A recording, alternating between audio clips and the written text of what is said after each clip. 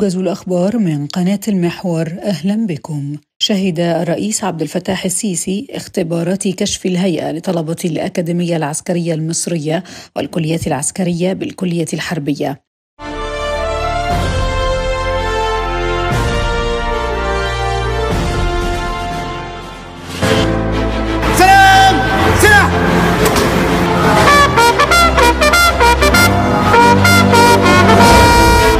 شهد السيد الرئيس عبد الفتاح السيسي رئيس الجمهورية القائد الأعلى للقوات المسلحة اختبارات كشف الهيئة للطلبة المتقدمين للالتحاق بالأكاديمية العسكرية المصرية والكليات العسكرية. حيث كان في استقبال سيادته بمقر الكلية الحربية الفريق أول محمد زكي القائد العام للقوات المسلحة وزير الدفاع والإنتاج الحربي. وشاهد السيد الرئيس عبر منظومة تسجيل نتائج الاختبارات الإلكترونية كافة البيانات الخاصة بكل طالب والدرجات التي حصل عليها أثناء تأديته مراحل الاختبارات المختلفة حتى وصوله إلى مرحلة كشف الهيئة.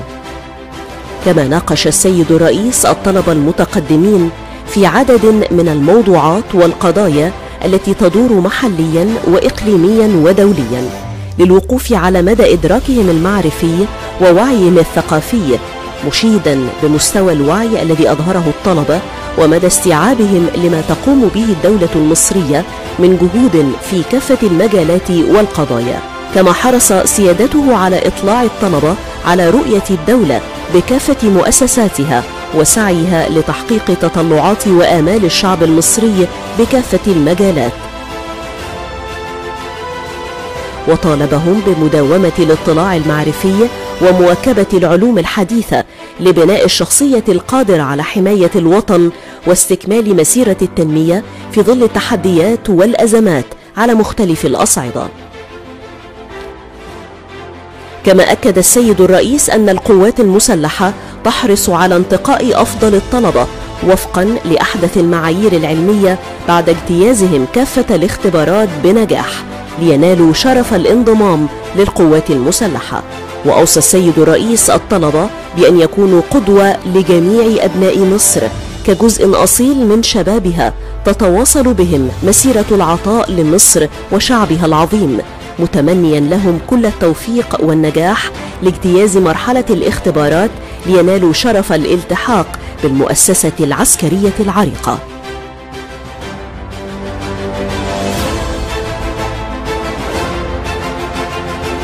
كما شهد السيد الرئيس بعض ملامح الدورة التدريبية للملتحقين بالنيابة العامة ومجلس الدولة حيث أكد سيادته أهمية التدريب المستمر لتحقيق التناغم بين جهات الدولة المختلفة وتعزيز التنسيق بينهم بما يسهم بشكل مباشر في تطوير الأداء وتعزيز الانضباط والوعي متمنيا للمشاركين في الدورة تحقيق الاستفادة المثلى بما يسهم في تحسين العمل في جميع أجهزة الدولة.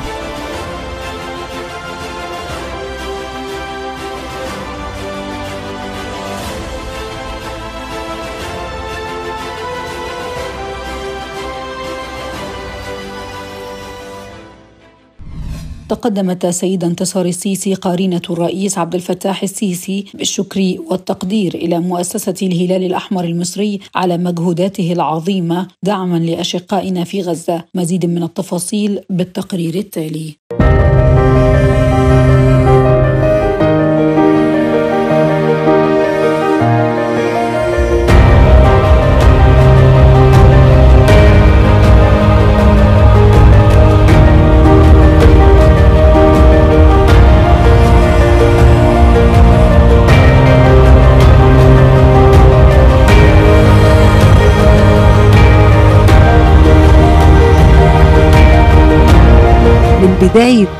الحرب على القطاع وأنا شايفة إن إحنا بناخد خطوات إيجابية ممتازة. وكمان الواحد سعيد إن إن أنا شايفة إن معظم الشباب عندهم حماس وقد إيه إن هم حابين إن هم يساعدوا يساعدوا في كل حاجة وبدون مقابل. ودي حاجة طبعا تفرحنا بشبابنا. فنأمل إن إن شاء الله كلنا مع بعض نتكاتف ونقدر نحقق لشعب فلسطين ولو بسمة للي إحنا بنقدر نعمله. الخير ده هايجين المفروض بيبقى شنط صحية شخصية. في الغالب إحنا عندنا أغلب الحاجات اللي بنبعتها بتبقى معلبة جاهزة على الأكل.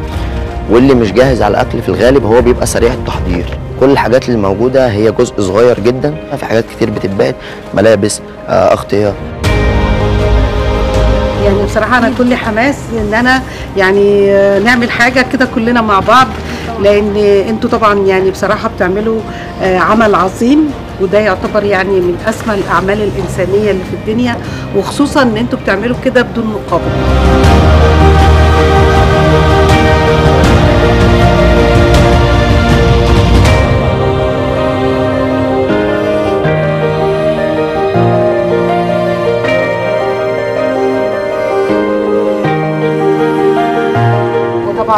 مصري يعني الواحد لازم لما يمسك المنتج المصري يفتخر بيه إن بلادنا بتعمل حاجة طيبة.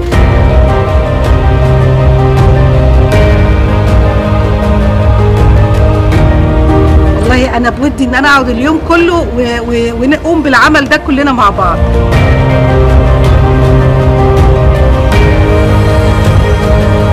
ألف شكر. ربنا يجازيكم خير إن شاء الله. شكرا.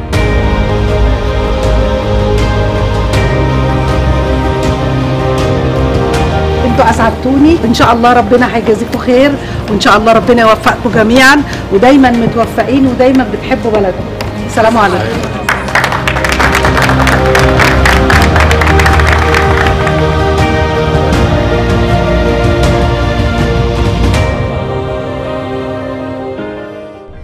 صرح ضياء رشوان رئيس الهيئة العامة للاستعلامات بأن مصر تجدد أسفها البالغ لكسر الهدنة الإنسانية التي دامت أسبوعا في قطاع غزة بفضل جهود الوساطة المصرية بالتعاون مع دولة قطر والولايات المتحدة. وقد نجحت هذه الهدنة في إفراج إسرائيل عن 240 من النساء والأطفال الفلسطينيين مقابل الإفراج عن 81 إسرائيليا و22 شخصا من جنسية أخرى. وعلى التوازي نجحت الهدنة في توسيع وانتظام عملية دخول المساعدات الإنسانية والإغاثية والوقود لأشقائنا المحاصرين في قطاع غزة. وأضاف رشوان أن مصر تبذل حاليا أقصى الجهود مع الشركاء من أجل العودة للهدنة في أسرع وقت ومدها لفترات أخرى وصولا للوقف الشامل لإطلاق النار لحقن دماء الأشقاء الفلسطينيين. وأكد رشوان من جديد أن مصر تفتح معبر رفح البري بصورة دائمة للأفراد والبضائع وأن أي معوقات في المعبر تأتي من الطرف الآخر الإسرائيلي. تفقد الدكتور مصطفى مدبولي رئيس مجلس الوزراء مكونات مشروع حدائق الفسطاط المنطقة الاستثمارية ومنطقة النافورة والمدرجات ومنطقة إنشاء المسرح المكشوف وكذا منطقة إنشاء المطاعم والمولات التجارية بالإضافة لمشروع رفع كفاءة مسجد السلطان المتحابين ومنطقة الحفائر ومشروع ترميم جامع عمرو بن العاص. ووجه الدكتور مصطفى مدبولي بعقد لقاء موسع مع المستثمرين في أقرب وقت للتأكيد على أهمية الحفاظ على الاستثمارات التي ضختها الدولة في هذا المشروع وضرورة متابعة أعمال الصيانة المستمرة. واستمع رئيس الوزراء إلى شرح رئيس الجهاز التنفيذي لتجديد أحياء القاهرة الإسلامية والفاطمية التابع للجهاز المركزي للتعمير حول الموقف التنفيذي لمشروع الترميم والكشف عن الحفائر بمدينة الفسطاط. أوضح اللواء أركان حرب مهندس مختار عبد اللطيف رئيس الهيئة العربية للتصنيع أن الهيئة تتطلع بقوة إلى التعاون الجاد وزيادة فرص الاستثمار الحقيقي وترحب بعقد شراكات بمرونة توفرها لوائحها ذات الصفة الدولية. أوضح اللواء أركان حرب مهندس مختار عبد اللطيف رئيس الهيئة العربية للتصنيع أن الهيئة تتطلع بقوة إلى التعاون الجاد وزيادة فرص الاستثمار الحقيقي وترحب بعقد الشراكات بمرونة توفرها لوائحها ذات الصفة الدولية. ومن الخطوات الناجحة التي حققتها الهيئة العربية للتصنيع خلال فعاليات ختام معرض إيدكس 2023 توقيع مذكرة تفاهم بين الشركة العربية البريطانية للصناعات الدنماركية ABD التابعة للهيئة وشركة نورثروب جرومن العالمية الأمريكية وأضاف رئيس الهيئة العربية للتصنيع أننا نتطلع من هذا التعاون أن تصبح الهيئة العربية للتصنيع محورا صناعيا للإنتاج والتصنيع والتصدير للدول العربية والأفريقية ولجميع دول العالم.